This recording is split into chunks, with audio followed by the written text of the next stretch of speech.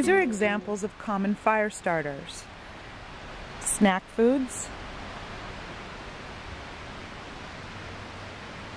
cotton ball and petroleum jelly, birthday candle, wax paper and candle stub, newspaper, cotton string and wax, charcoal briquettes, melted wax and cardboard egg cartons, paper cupcake wrapper, melted wax and cedar shavings or cedar shavings, melted wax and cardboard egg carton, sawdust, melted wax and cardboard egg cartons.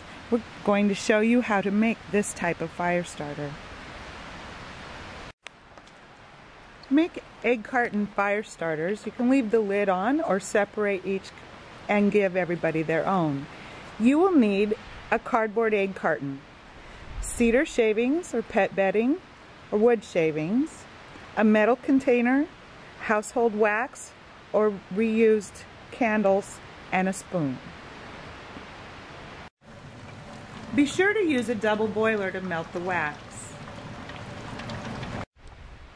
The wax is hot. An adult should pour.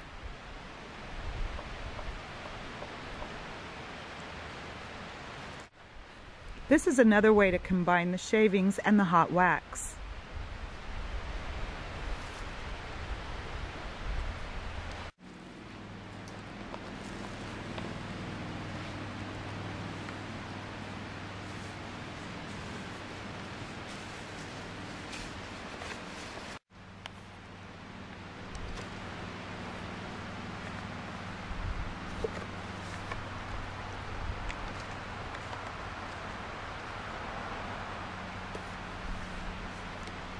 You don't have to spend your budget on ready-made fire starters.